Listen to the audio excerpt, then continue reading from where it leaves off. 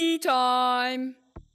I'm gonna be speed running, branching style around the whole map, starting from there, going around the map. I don't know which way I'm gonna go yet, but I know I will figure it out at the last second. And I know why I can't have comments on.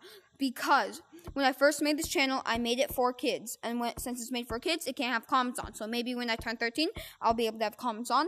But if I can't, too bad. And I'm, and I might go on my computer to figure it all out. But for the meantime, I don't have comments on. You can time me at your house or wherever you are, and I'm also going to be counting out loud. Um, in Monkey World. Three, two, one, go. One, two, bad start. Three, four, five, six, seven, eight, nine, ten, eleven, twelve, thirteen, fourteen. No, 15. 16, 17, 18 seconds. I, I, not blah, blah, blah, blah, blah. I have last video's riddle answer. It was a river. Please,